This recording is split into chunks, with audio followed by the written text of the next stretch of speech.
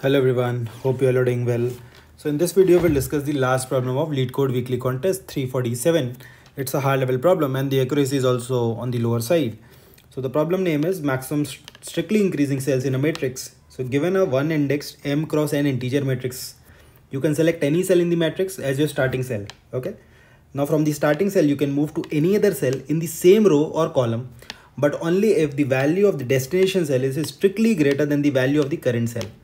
You can repeat this process as many times as possible, moving from cell to cell until you can no longer make any moves. Now your task is to find the maximum number of cells that you can visit in the matrix by starting from some cell. Return an integer denoting maximum number of cells that can be visited. Okay. So you are given a matrix. You can choose any cell as your starting cell. Okay. And from a particular cell, you can move to any other cell in the same row or in the same column. Given the destination cell, cell where you are moving, the value in that cell should be strictly greater than the value that is in your current cell. Simple. And you have to tell what are the maximum number of cells that you can visit. Okay. For example, here we start from here 1. Now we can move in the same row or in the same column. Remember the cells uh, need not be adjacent. Any cell in the same row and any cell in the same column. Okay.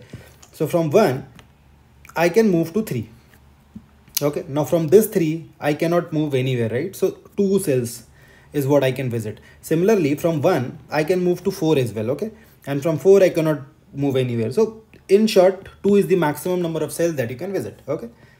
If you look here so if you start from any cell right you cannot move to any adjacent cell because all the values are equal. Hence the number of cell visited is only one uh, which is your starting point. Now here just see. We start from minus 9 from minus 9 we can where can we go? We can go to here here meaning any cell in the same row or in the same column. So in the diagram it says that from minus 9 we go to 3 great. Now from 3 we cannot go to 1 though it is in the same row but the value is less okay? However we can go to 6 great. Now from 6 we can go to 7 okay so how many cells have we visited? 1 2 3 4 what are the other possibilities? So other possibilities are for example what happens if I start from 1 so if I start from 1 I can go to I can go to 5 then I have to go to 7 so the number of cells visited is only 3 okay? So that means the maximum number of cells that you can visit is 4 okay? Simple stuff. And yeah the constraints are that the number of cells that you can have is 10 raised to the power 5 and the dimension can at max be also 10 raised to power 5 okay? The values are between this. Okay? So now just a second. Yep let me erase it. So just see. From a particular cell i can move to any cell in the same row or any cell in the same column okay? So just think if for a particular cell like let's talk about this row okay? If i know that what are the what is the maximum number of cells i can visit if i start from 6 okay? If i know this that what is the maximum number of cells i can visit if i start from 6 then I just have to come to this cell to find the remaining answer. What do I mean by this? The maximum number of cells that I can visit if I start from 6 is 6 and 7. So 2 cells. I stole 2 here, okay? I stole 2 here. Now if I have to calculate what is the maximum number of cells that I can visit from 3, like if I start from 3, so I can directly go from 3 to 6. And from 6 I already know my answer. So it will be answer for 6 plus 1, right? Similarly, minus 9. So from minus 9 I can go to 3. I already know the uh, answer for 3. That is 3 cells I can visit from 3. Okay. So from 9 if I go to 3 what is my answer? 1 one cell this and what is the answer for this? It is 3. So my answer is 4. Okay. I mean to say that for every cell if somehow we find out what is the maximum number of cells that I can visit considering that cell as the starting cell then I can simply compute my answer right simple stuff now comes the question which cell to choose first okay? Which cell should i choose as the starting point? So now just see one thing. Whatever is the largest value in your matrix right? Whatever is the like here it is 7 whatever is the largest value in your matrix for that i know my answer. For that my answer will be 1 because from here i cannot visit anywhere. Okay? From here i cannot go anywhere. And also the value need not be distinct. So 7 can be present at multiple locations in my matrix. So what i'll do? I'll keep a track that okay the value 7 is present at suppose multiple positions. So what are those positions? Okay. What are those positions? Now i do this. Now from 6 where should i go? Suppose there is a value 8 as well here okay? Where should i go? So all i need to do is i need to see that which which which movement will, will give me maximum benefit. What do i mean by that? I mean by that that what is the maximum value that i can have for this particular row. Okay? For this particular row what is the maximum value i can have? Obviously i have to traverse the values in uh, decreasing order. So for 7 i know my answer. Forget about 8 suppose there was some other value. Suppose this was 5 and this was 6 okay? This was 6 so if this is value 5 then how do i know where should i move? So simple. 5 is present at this particular location okay now what you do you find out what is the maximum value for what is the maximum value for all the cells in this row. What is the maximum number of cells that can be visited okay? So i would have already calculated the answer for all the values greater than 5 right? Because i'm traversing in reverse order. Like for example first i calculate the answer for 7 that will be 1 then i move to 6 okay? So for 6 suppose answer is also 1 now if i want to calculate a 5 all i need to do is check how what is the maximum number of cells that can be visited by any cell in the same column or in the same row. Simple.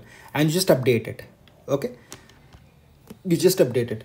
Let me take this example. So 3 1 6 minus 9 5 7 you start with 7 this is your matrix. Okay? This is your matrix. Answer for 6 uh, 7 is 1 okay? Now for 6 what is the answer? I see initially all the values are 0 okay. I start with 7 the answer is 1 okay. Now i come to 6 for 6 check all the cells in the same row and same column. So the maximum value i get is 1 right? All the cells in the same row and same column i get 1 so that means from here the ideal uh, movement is move from here to here. So what will be my answer? It will be 2 that means if i choose 6 as my starting position the the the, the maximum number of cells that i can visit is this one. Okay. Simple. Now what is the next value? That is 5 right? That is 5 now from 5 what could be my answer? Okay. So what is the maximum value in the same row? It is 1 what is the maximum value in the same column?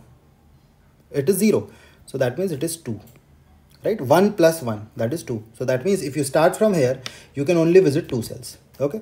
Now what is the next value? It is 3 right now for 3, if I have to calculate the answer, just see what is the maximum value in the same row? It is 2. Same column, 0. So 2 plus 1, 3. Meaning, if you start from here, you can visit 3 cells. 1, 2 and 3. Now what is the next value? That is 1. I'm, I'm uh, picking up the values in decreasing order, okay? So it is 1. So how many cells can I visit from 1? So just see, maximum of these, okay? Maximum of these. So what is maximum of these? It is 3 right? It is 3 so 3 plus 1 4 3 plus 1 4 so 4 is your answer. You can visit 4 cells okay?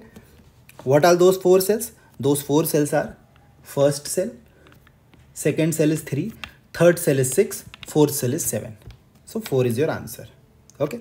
And then last cell is sorry last cell is 9 so what you do? You start from 9 what is the maximum value in the same row and same column okay so that is 3. 3 plus 1, 4. So 4 is your answer.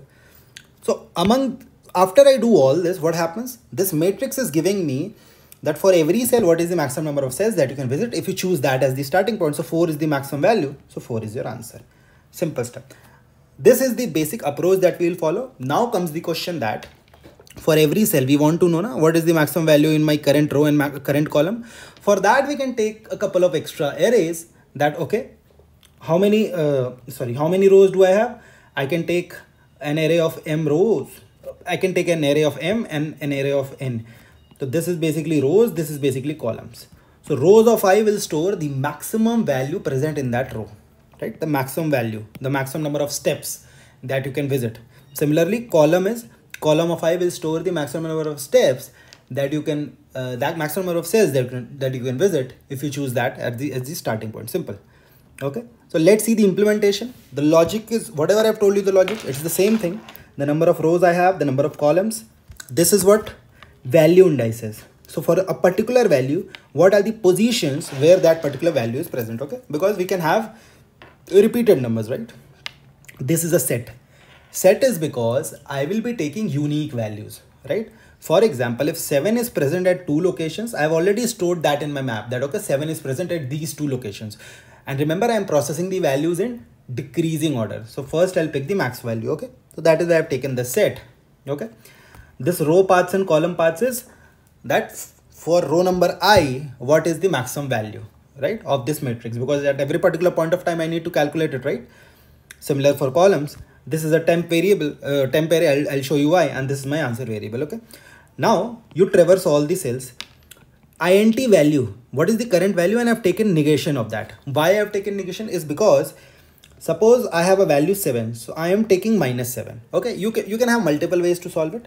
Now what I, what I am doing here is I am storing the values in in negation form so that the maximum value becomes the negative value and I keep on uh, picking the values in order. For example, if you talk about this array, so the values are 3, minus 1, 6, minus 9, 5 and 7. So I'll store minus 7.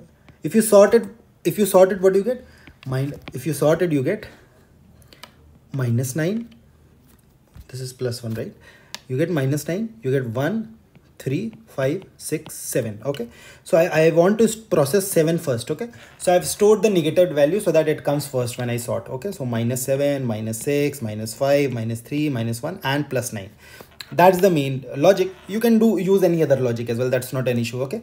So that's what i've done. That value indices if, if it contains the particular value then if it doesn't contain add an array list and add the current position. Add the current value in your set. Simple okay?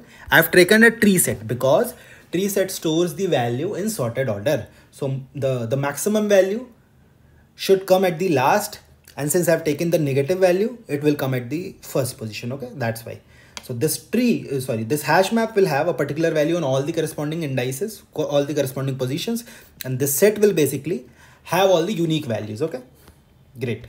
Now let's come to the main processing part. So yeah, this is your set. Start picking up the value. So the first value that I'll pick up is is the uh, most negative value, right? Because I've negated the values. So in, in this case, I've put minus 7. So minus 7 will come. Now, what are the positions of that value? Okay these are the positions. Traverse all the positions this is row this is column. Okay? Now the temporary array that you have taken you will be storing the answer there because you'll be you first you find the answer and then only you'll update the row and column right? For example for the current row and column what is the answer? So the answer is the maximum of that particular row okay? The maximum number of cells that i can visit from that particular row. The maximum number of cells that i can visit for from that particular column whatever is the max plus one okay? I calculate it for the current row and column right? Now once i do this for all the positions of the current value i go and i have to update the row and column as well you know for the next iteration for the next iteration because I have to update, right? If I've get a, I, if I've got a more updated value, I've got a uh, answer that is greater than the current answer. I'll have to update the row and column. So that's what I've done here.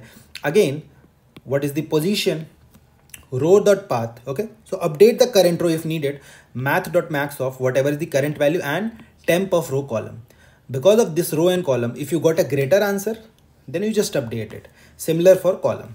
Okay exactly. Basic thing. Like in this case what i was doing as soon as you got suppose 3 so now when you've got 3 you have to update this row and this column right? That the maximum value is now 3 initially it was 2 now it is 3 so that is what we are doing here. That is what we are doing here. Now once you have done it all you need to do is traverse all the cells and find the answer. So instead you can traverse all the cells or what you can do traverse all the rows and find the maximum of rows and columns okay? So whatever is the max values of rows that is your answer sorry the max values of rows and columns. Find the maximum value and that is your answer okay? In short since this is a good problem let me just reiterate what we have done here. We have started with the maximum value and how do we get the maximum value? We have put the uh, negative negated values in this set. So the maximum value actually comes at the top. Now you start picking up uh, the maximum value. The answer for that will be 1 and you keep a track of what is the maximum uh, values for each row and for each column so that you you get the uh, you know maximum value in big O of one time right? For example if you stand here how do you know that what is the maximum value in this row and this column? So for that app they can do those couple of uh, arrays right? Now simple. Find the answer. Find the answer. Update the row and columns. Okay? Simple. And then finally traverse all the rows and columns. That means uh, this row and column right? This row and column. And then just find the maximum answer and return it right so yeah that's it for the solution uh, i think the, the main uh, the main logic here was uh, what I would say what made this question really good was first thing is you have to move from one cell to another cell in the same row and same column. So how do you optimally do that, right? You cannot keep on visiting like this. You have to visit the cells in order. Which order? In decreasing order. Because if you uh, move in random order, you have to perform a DFS and probably your answer will get updated multiple times and, and a bunch of other things. Why not start the values in decreasing order? Okay, uh, pick up the values in decreasing order so that these answers do not change okay these answers do not change and yes you can take the help of a couple of arrays to find the maximum values in row and column right so yeah that's it for this solution. Um, i hope you learned something new from this video. Do support it by giving up a thumbs up. Do subscribe to the channel in case of any issues. Uh, if you have any related to this problem mention that in the comment section. I'll revert on each one of them. Thank you. Take care. Bye bye